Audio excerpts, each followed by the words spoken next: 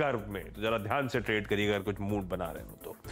सूला विनियार्ड्स जो quarter four updates आए, वो स्ट्रांग है। इनके खुद के ब्रांड सेल्स साल दर साल 15 परसेंट टूरिज़्म में 18 परसेंट वाइन टूरिज़्म में उछाल है। तो स्ट्रांग फिर से क्वार्टरली अपडेट सूला के आते हुए, जो मेंशन हो रहा था कि लिकर स्पेस में आउट परफॉर्मिंग स्टॉक वैसे ही बना हुआ है। डिलीवरी फिर से टाइगर ग्लोबल ने एक चंक बेचा है।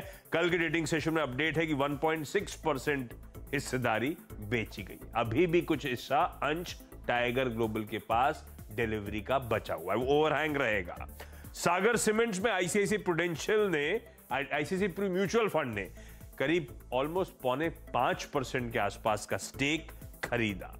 बीएचईएल चर्चा में था। बीएचईएल और टीटागढ़ वैगन्स दोनों इसीलिए क्योंकि वंदे भारत ट्रेन का वो बड़ा ऑर्डर औपचारिक रूप से इनको हैंड ओवर कर दिया गया इस खबर पे लेकिन हम लोग जब ये एल निकले थे सामने, तब ऑलरेडी रिएक्ट कर चुके ध्यान रखिएगा, लेकिन उसका एक फ्रेश अपडेट आ रहा है तो आज खबरों में इसलिए बन गया।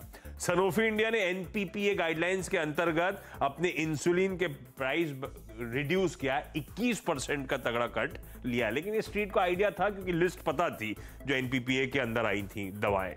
पारस डिफेंस ने करार करा है ड्रोन टेक्नोलॉजी को लेकर, इसीलिए स्टॉक सिर्फ़ रडार पे, और जुबलेंट फूड्स अभी अतिन दो स्टॉक्स मेंशन कर रहे थे ब्रोकरेज के रडार पे, एक एलटीटीएस था, दूसरा जुबलेंट फ़ूड था। सिटी की रिपोर्ट कहती है 619 के टारगेट्स यानी कि बढ़िया पोटेंशियल 40-50 परसेंट का अपसाइड सिटी को नज़र आता है इस स्टॉक बता दें कि मनी कंट्रोल पर दिए गए विचार एक्सपर्ट्स के अपने निजी विचार होते हैं। वेबसाइट या मैनेजमेंट इसके लिए उत्तरदायी नहीं है। यूज़र्स को मनी कंट्रोल की सलाह है कि कोई भी निवेश निर्णय लेने से पहले सर्टिफाइड एक्सपर्ट की सलाह लें।